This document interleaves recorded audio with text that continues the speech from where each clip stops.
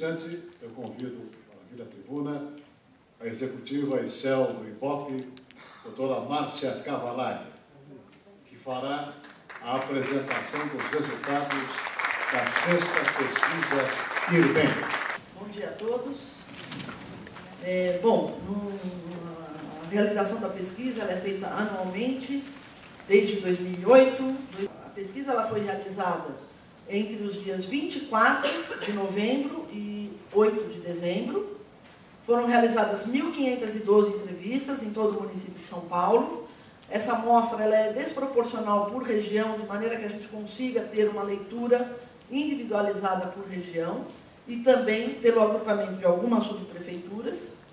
Uh, e para isso, como a amostra é, é desproporcional, ela é ponderada no seu total para restabelecer a proporcionalidade das regiões e dos moradores de cada região da cidade.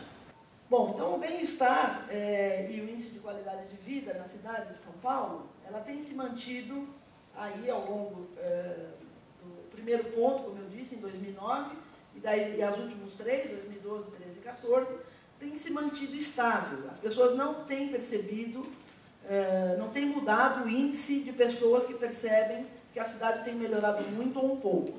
Então hoje nós temos aí pouco mais de um terço da população dos paulistanos dizendo que percebem alguma melhora na cidade em relação ao último ano. Metade da população diz que é, está estável, não está nem melhorando e nem piorando, e 13% de que sim percebem pioras, sejam elas pouca, pouca, pouca uma, uma piora pequena ou uma grande piora.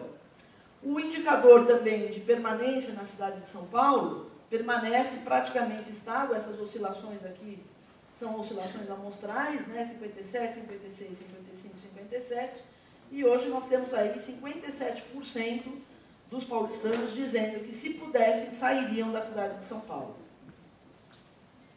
O IRBEM ele é constituído de uma avaliação de 25 áreas, e essas áreas são, opa, essas áreas são subdivididas em 169 aspectos, itens que são avaliados na cidade.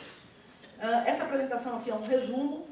No site da Rede Nossa São Paulo estará disponível a apresentação completa, assim como eh, o relatório de tabelas, onde permite uma análise mais segmentada. Nas, das 25 áreas, para cada uma delas, o que a gente pergunta é o nível de satisfação que a pessoa tem em relação àquela área. Então, ela dá uma nota de 1 a 10. Está medindo de 1 a 10, o ponto médio é 5,5. Então, das 25 áreas medidas, nós temos apenas quatro delas que têm uma pontuação maior do que a média da escala. São elas relações humanas, com média 6,1, aqui na última coluna, vocês podem ver. É, religião e espiritualidade, 5,9. Trabalho, 5,8. E tecnologia da informação, 5,7. Essas quatro áreas permaneceram ao longo, desde 2009 as quatro primeiras, sempre, em todas as edições. Não houve nenhuma mudança de ranking é, ao longo é, da, da, série histórica aí. Né? As outras 21, 21, as demais áreas, as 21 restantes, elas estão com notas e níveis de satisfação abaixo da média da escala, ou seja, todas elas abaixo de 5,5. E as piores ali avaliadas as últimas cinco piores avaliadas, transporte, trânsito e mobilidade, com 4,1, acessibilidade para pessoas com deficiência, com 3,9, desigualdade social, 3,8, segurança, 3,8 e transparência e participação política, 3,1, que é a, a pior área avaliada.